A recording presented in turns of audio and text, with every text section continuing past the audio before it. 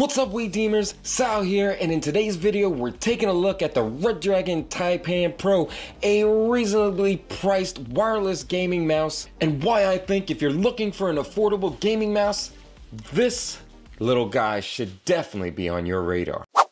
Redragon is known for making fairly priced gaming accessories which can either be a hit or a miss. Just for reference, the Adante gaming speaker which looks premium and has bass, something Redragon speakers haven't had in the past, but unfortunately the bass isn't as good as it could be. Or the Zeus 2 gaming headset which was surprisingly not bad. And the many Redragon keyboards. Redragon keyboards, something I have a good amount of experience with and well, they get the job done. Just a warning, that's gonna be an ongoing theme in my Redragon videos.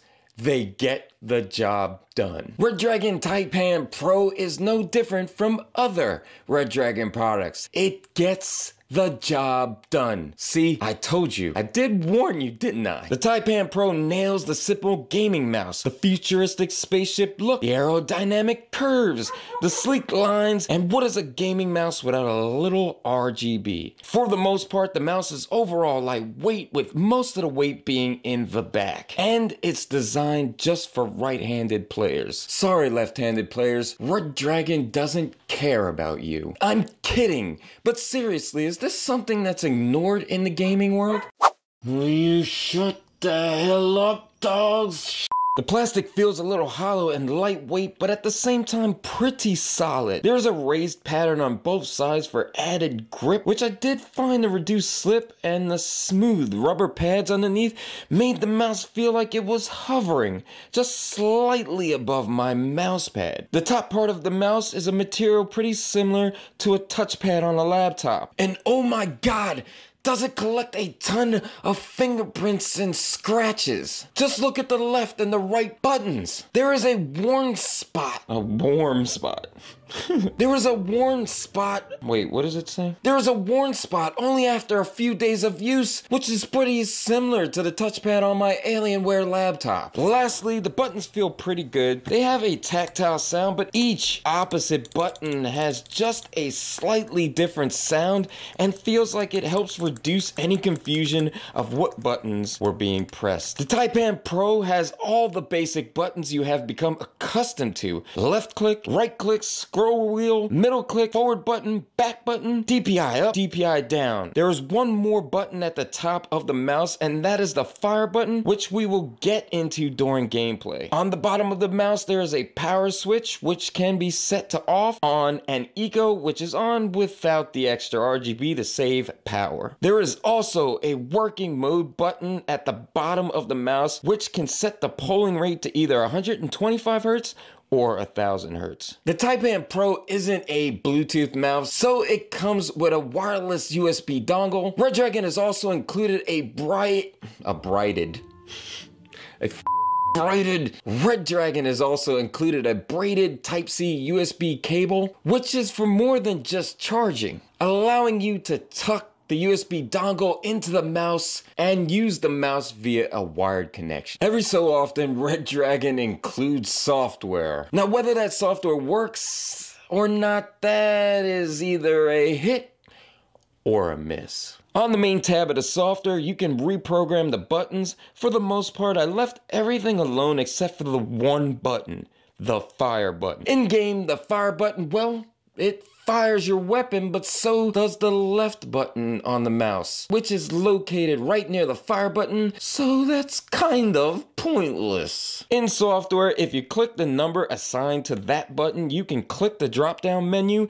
In key settings, you can select a pre-programmed function or like I did, choose macro, but you will need to create a macro in order for this to work. I created a single macro for Doom, F which is the melee or glory kill, and it's much easier than having to click F on the keyboard. You can also set the polling rate on this screen as well. Last thing in the main section is battery life. And I don't know how accurate it is. According to Redragon, while using the Taipan Pro wirelessly, it'll last about 8 hours in eco mode and about 2 hours while all the LEDs are on. Now I did not test this. I'm planning on maybe setting aside 8 hours to play games for 8 hours and see if the battery lasts. If you're interested in seeing that, you can check out the WeDeem Gaming Community Facebook group. I'll post an update video there. In the advanced tab, you can change the DPI settings, mouse sensitivity, scrolling speed, and double click speed, which I didn't see much of a difference when I changed the setting. The macro tab. Damn it, why you so close? Look at you close. Up in this camera. So close. You see me now? The macro tab is where, well, you can set macros for each of the buttons on the mouse. Okay, so here's where we finally find a flaw. Which, with Redragon software, there's always at least one. According to the manual, you can change the RGB on the logo and the LEDs on the side. Aw, Redragon, your software just made you a liar.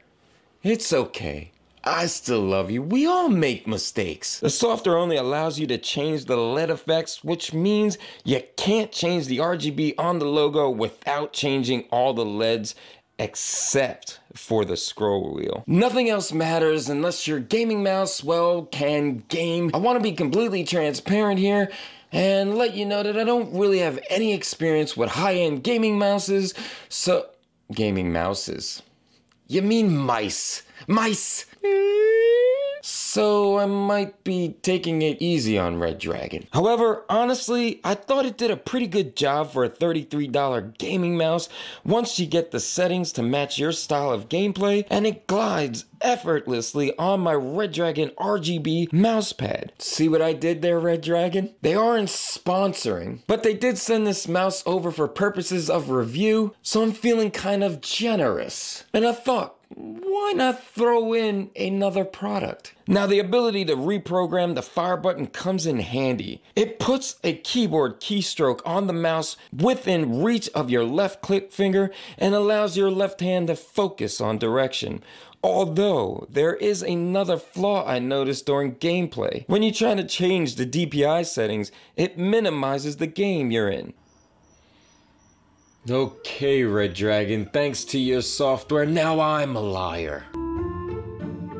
So what's the final word? At this price point, I can definitely recommend the Redragon Taipan Pro wireless gaming mouse, and mostly because it gets the job done. Okay, all jokes aside, it has really good tracking. I guess the software is okay, and the buttons, they're not that bad either. If there's anything else that you're curious about, something you think I might have left out, don't hesitate to ask below, and if you're interested in picking up the Redragon Taipan Pro, there will be a link down below. Check out the WeDeem Gaming Community Facebook for exclusive unboxings, DIY projects, and to share what gaming accessories you're picking up via the link down below. As for now, I'll see you in the next one. Guys, instead of staring at my ugly mug, why don't you go ahead and check out one of our other videos? One, two, I'll wait. My busted face ain't going nowhere.